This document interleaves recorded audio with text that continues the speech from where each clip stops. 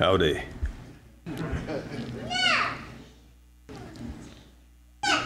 I know we all have prayers. My mother has pneumonia. Everybody has some issues. So let's bow our heads in prayer. Almighty Father, what a joy and a privilege to meet together with fellow believers on this holy Sabbath day. Raise up our voices in praise and adulation. Also, Lord, you know all those silent prayers that we have. And I just want to thank you for your love and your mercy. Be with our speaker this day and bless each and every word that comes forth from his mouth, that it will bless us. Our visitors that are here, we thank you for them. And let us show them our generosity with our potluck. This is our community outreach. We love you, Father. Continue to guide and direct us as we make our way towards thy kingdom. In Christ's name I pray. Amen.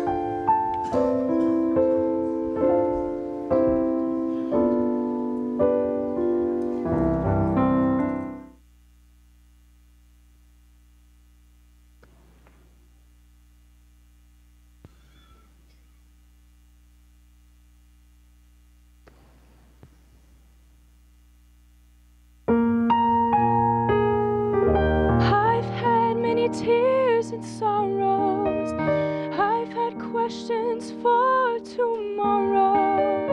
And there've been times I didn't know right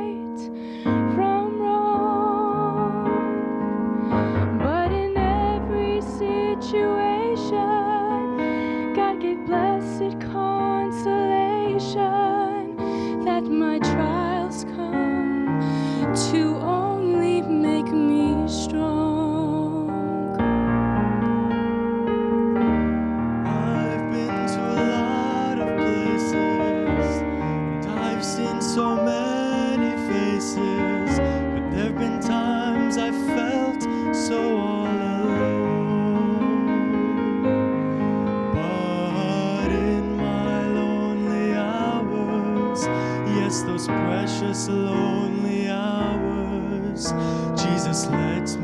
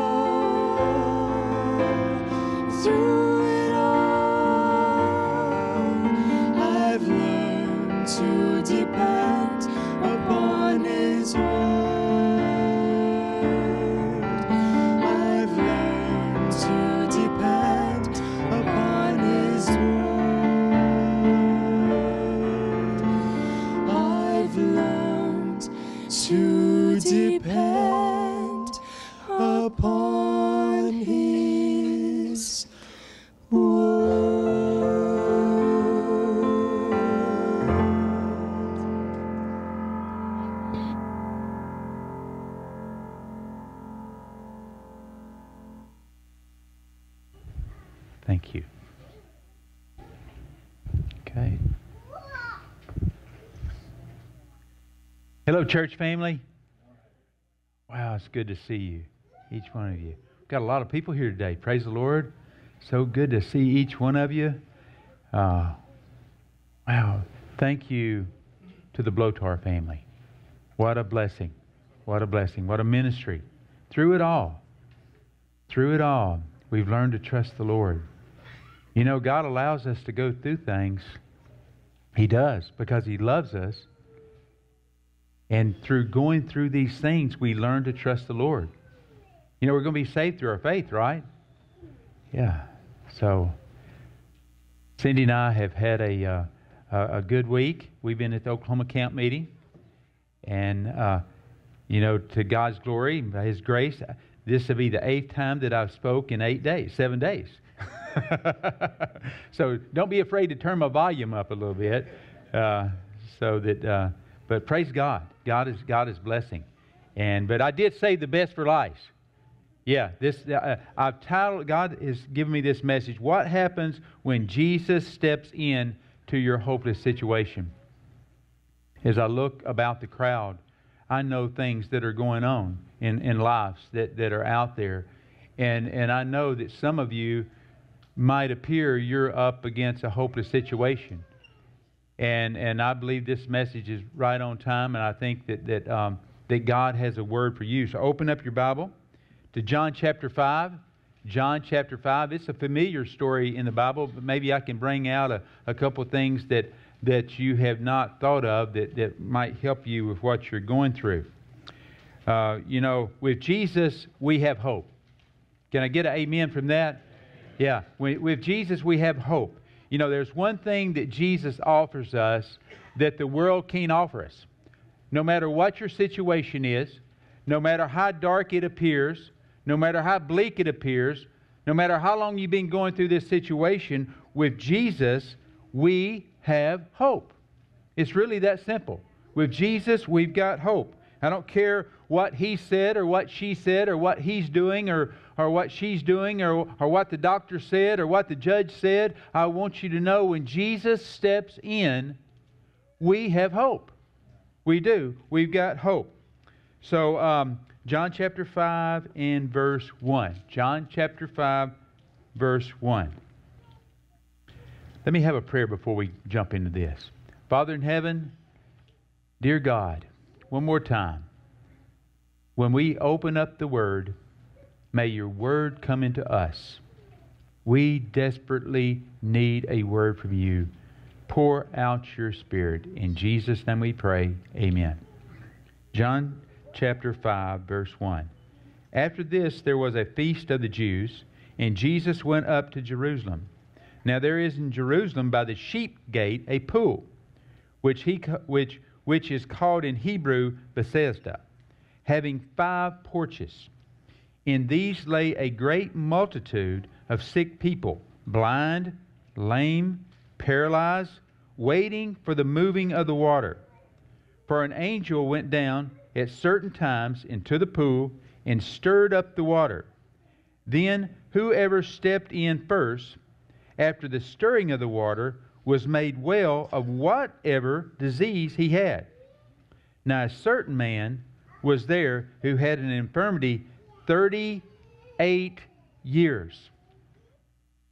When Jesus saw him lying there, and he knew that he already had been in that condition a long time, he said to him, Do you want to be made well? And the sick man answered him, Sir, I have no one to put me into the pool when the water is stirred up. But while I'm coming, another steps down before me. And Jesus said to him, Rise, take up your bed, and walk. In verse 14, I want to bring this out too. Afterwards, Jesus found him in the temple, and he said to him, See, you have been made well. Sin no more, lest a worse thing come upon you. Sin no more, lest a worse thing comes upon you. You know, the Bible says that, that Jesus comes into town. He comes into town and, and he, it's for one of the feast celebrations. And he decides to stop by, can I call it the, the whirlpool? The whirlpool. And it, but it was more like a ER trauma unit at like New York City. That's really what it was more like. A place where the sickest of the sick lay at. The ones, you know, with no hope. Uh, the ones that, that no one could help them. They couldn't get any help from anyone else. Their, their lives were a mess. You know, it was even thought of then, and maybe even some now, when some people are fighting different sicknesses that there seems to be no hope for, that is something that maybe your past life brought on. They especially even taught that back in that day. So they were outcasts. Nobody really cared. You know, they, they camped out at this pool because they heard from someone that on, on certain times that an angel of God would step in and stir the water. And as the water was stirred and it started bubbling, the first one into the first one that got in the pool would be healed. The first one that could make it there. It was kind of a dog eat dog kind of situation, wasn't it? Not much hope there, only one person. Only one person. You know, but I would have thought, you know, I would have thought that, that Jesus would have just walked up and would have jumped into the pool and every one of them would have been healed. Right? That's what I would have thought. But if you think about that, that would have taken away their individual choice. Right?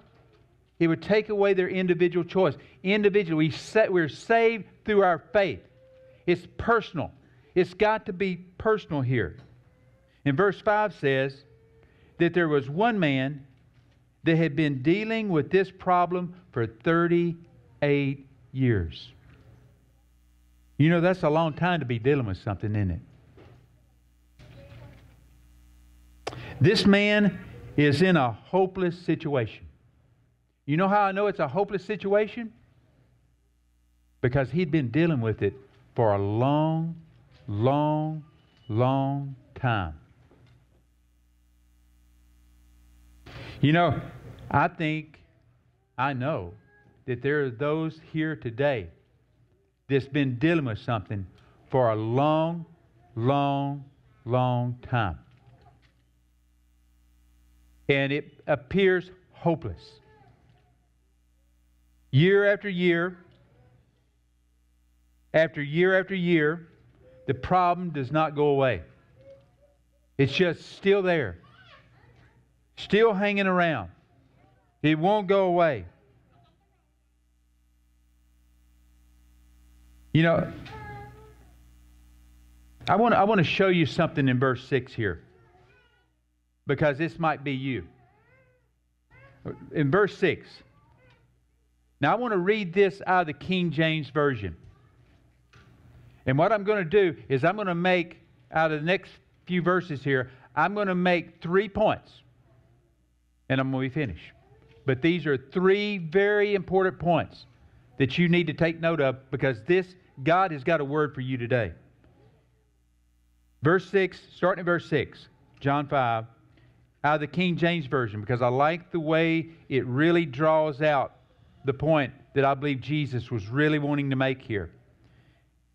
When Jesus saw him lie and knew he had been now a long time in that case, he said unto him, Wilt thou be made whole?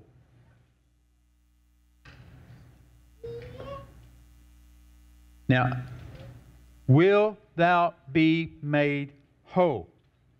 Now, picture this Jesus is walking by this whirlpool. People everywhere. It's a feast going on. People come from all directions, from all around. All kind of things going on in people's mind. All kind of things happening in people's lives. And here's this one guy, this one guy in a multitude of people in the midst of all it, and Jesus knew. You catch that? He knew. He, he knows his condition. All these people, this one guy, but Jesus knows his condition. And I'm not just talking about his physical condition, he knows everything. He knows everything about this guy. Jesus knew. This story should give us a lot of hope. This should give each one of us a lot of hope here. Jesus knows. He knows. There's nothing that's going that you could be going through right now that Jesus does not know about. He knows. Nothing that you're facing, nothing that you're struggling with, nothing that your family's going through, that you've been going through over and over and over, that He does not know. And He cares. He cares. You know, we, we try to hide the fact that we're struggling, don't we? We come to church, we put on our howdy doody faces. We don't want nobody to know we're struggling. But Jesus knows. He knows. You don't, you don't have to play games with Jesus. You don't have to put on a happy face for Jesus because He knows. He, and He cares. He cares. Jesus has got a word for hopeless people today in this story in the Bible. For someone maybe that's been dealing with something for a long, long, long time.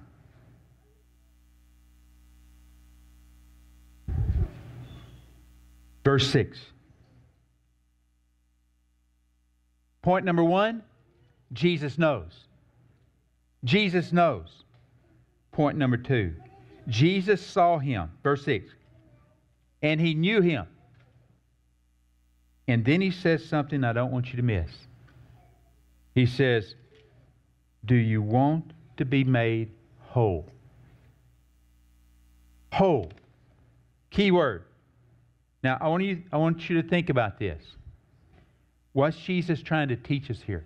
All Scripture is given for our instruction, right? All Scripture. He says, Do you want to be made whole? Well, that sounds like kind of a silly question to ask the guy. How you been laying there? He'd been in this condition for 38 years. I mean, Jesus, really? Do, do you want to be made whole? But I want you to think about something. We all know people. We, we, we all know people whose life is in a mess. And, and, and they know they need to let Jesus fix their life. But they say, no, not right now. Not right now. Not right now. Not uh, when I graduate. then, then you can come in and straighten me out. When I get married, then you can come in and straighten me out. You know, when I, it's always down the road. You know, procrastination is one of the devil's secret tools that he uses on good people. He does. Always going to do it tomorrow. Tomorrow. Tomorrow. Jesus looks at us today. Do you want to be set free from your temper? Do you want to be set free from your lust? Do you want to be set free from you fill in the blank? This guy had been that way for 38 years.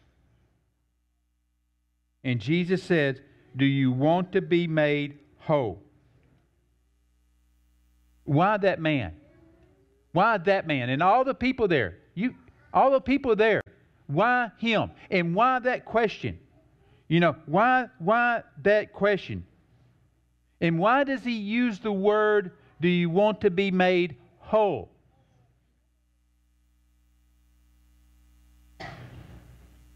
Because Jesus wanted to heal that man completely. Completely. He doesn't want just to fix a messed up outside and leave a messed up inside. Amen? Jesus doesn't want to answer your prayers just putting a band aid on the sore. He wants to heal what caused the sore. Jesus is saying, I don't want to just fix what's wrong in your situation, I want to fix what caused it. I want to get to the root of the problem. You know, a, a, lot of folks want God to, to, to heal them. A lot of folks uh, want, get my body out of this bed. Get my body out of this situation here. Just don't mess with my life doing it. Let me live my life. Just fix the broken world. You know, it's possible that we could be praying for the wrong thing. If we're praying, Lord, get me out of the mess that I'm in, and you're not praying, fix whatever's in here. If you're not praying, fix whatever's in here that's broken. If you're not praying that prayer, what we're saying is, I don't want to be made whole, I just want to be made half whole. Right? The message here today is that Jesus wants to make you whole inside and out. Praise God. New, transform. Jesus knows. He knows what you're going through. Jesus wants to make you whole. He wants to make you whole, inside and out, complete. Thirdly, listen this, verse 6. So Jesus asked him, Do you want to be made whole? And then verse 7, don't miss this, Sir, I have no man to put me into the pool when the water is stirred. I have no man to put me in the. Do you want to be made whole? I have no man to put me in the in the pool. Are, are you getting are you getting something here that he's saying? Are you getting are you get do you do you know the last point already? I mean, do you realize who he's talking to? Jesus asked him, Do you want to be made whole? He's talking to the creator of the world. He's talking to the great I am. He, he, he's, he's talking to the great healer standing right there in front of him, asking him, Do you want to be made whole? And the guy and the man looks up, and, and don't miss this. Follow me here. The man looks up at him, but really, he looks past Jesus to the water. Are you catching that? Where was his hope at? In the water. The hope was in the, in the water. And basically, he says, My hope is in the water and I can't get to it. Are you following me here? That's where his hope was at. It's a story of a lot of us. This is a story of a lot of us. We're putting our hope in the wrong thing. We are. It's the story of everyone that was at that pool that day. Every single person at that pool that day was hoping to do what? Get in the water. They were hoping to get in the water. If it was stirred. And only one of them, and only one of them would have been healed to begin with. Yet Jesus Christ, the great healer, the great I am, was standing in their presence, and not one of them cried out to Jesus Christ. Not one of them did that for help. Charles Spurgeon said, A blindness had come over these people at the pool. They were there, and Christ was there. But not a single one sought him. Their eyes were fixed on the water, expecting it to be troubled. They were so taken up with their chosen way that the true way was neglected. Mercy. We cannot let that happen to us. Look to Jesus, friends. Look to Jesus. Keep your eyes fixed on Jesus.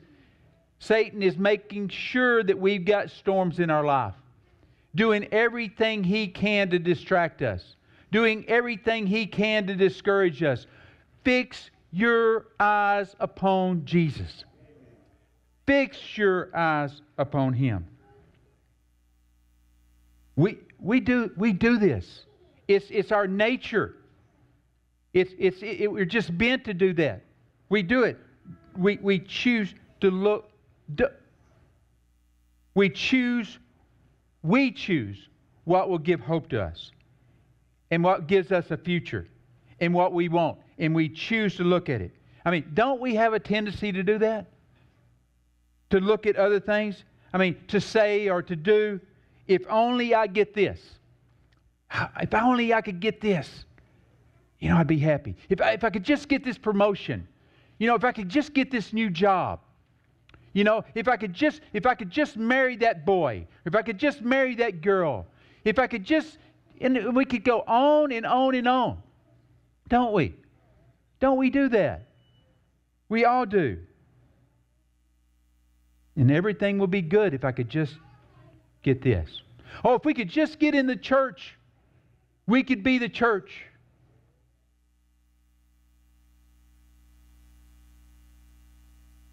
We have a tendency of looking past the Savior of the world and looking at what we think will give us hope and fix our problem.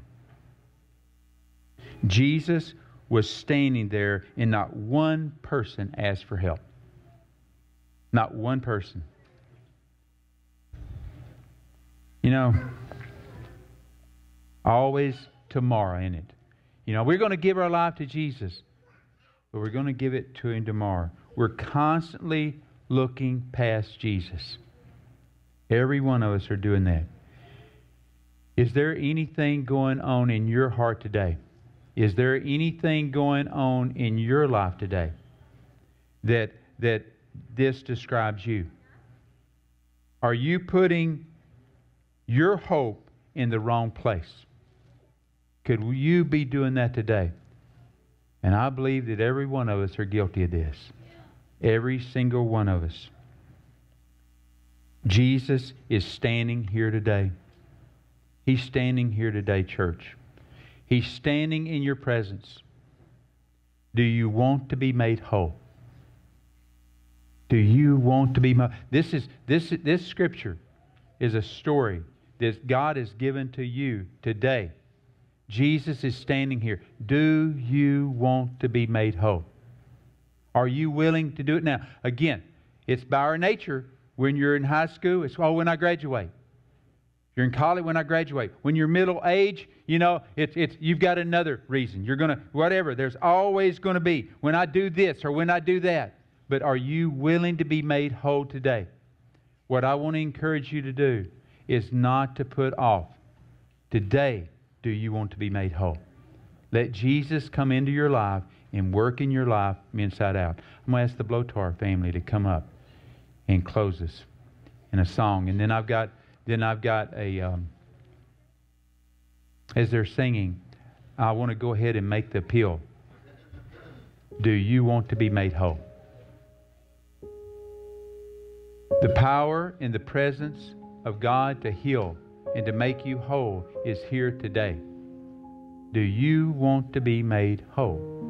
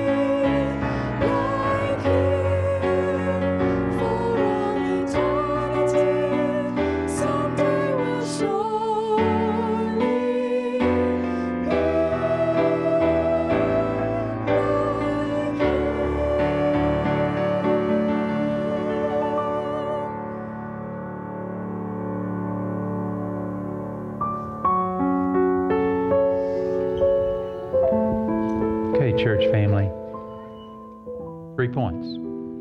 Jesus knows what you're going through. He knows what you're going through.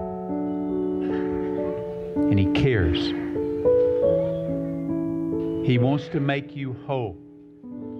He's not putting you through some type of torture chamber, a chamber of some sort. When we get to heaven, we're not we're not going to go up to Jesus and say, "Oh, why did I have to go through this? My row was too unfair, unfair.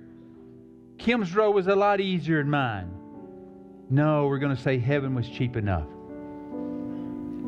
Trusting. This might be for someone else what you're going through. They might need to see your faith. Sometimes our faith needs to be seen. Jesus knows. He cares. Do you want to be made whole? And friends, are we looking to Jesus? Are we looking to Jesus? As we look to Jesus, as we keep our eyes fixed on Jesus, He's going to help us through the storms. He's going to help us all the way through it. If we keep our eyes on Jesus, no matter what you're going through, no matter how hard it is, no matter how difficult, no matter how dark, if you keep your eyes on Jesus, this road that you're walking down will lead to eternal life. Now I want to, I want to, I want to make a, an altar call, but but I don't want anybody to get up because we because it's just so many of us and be crowded here. So right where you're sitting at, I want to go. Uh, let's go to the Lord in prayer. The power to heal and make whole is here. Jesus is able. One of the things I've been praying for, for me personally, is that is that God would help me with my unbelief that, that, that He would help my faith in such a way that I would believe that God is able to do everything that He said He's able to do. Lord, help our unbelief. Friends, God is able. And that's our first step is maybe believe that God believes that He can take care of your situation. And believe that God loves you and He cares about you and that, and that His plan for you is eternal. So I want to give each one of you a chance to, to cry out to God.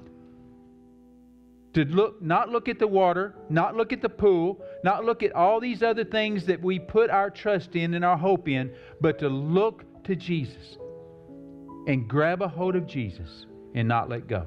So let's let's go to the Lord in prayer. And I'm going to give you an opportunity to cry out to God, and then I'll close this in prayer.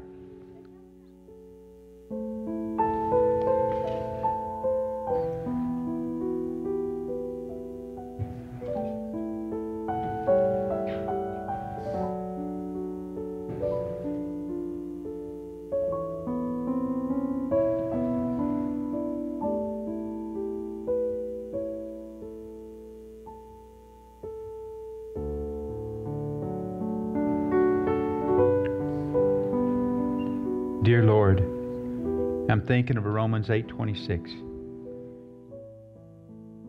Talking about we don't even know what to pray or how to pray. But the Holy Spirit steps in for us. Dear God, dear Spirit, dear Holy Spirit, please pray for my church family. Help them pray. Help them pray. Help them take their prayers. Take our prayers, Lord. They're weak. We're just humans. Take our prayers, Lord. Put a beautiful incense on them and carry them all the way to the throne room. Dear Jesus, apply your precious blood to our prayers, Lord. We want to be made whole. We want to be made whole, Lord. Lord, create in us a, a new heart. Renew a right spirit within us, Lord. Take away our self willed heart and give us a God willed heart. In Jesus Christ's name we pray. Amen. Amen. God bless you.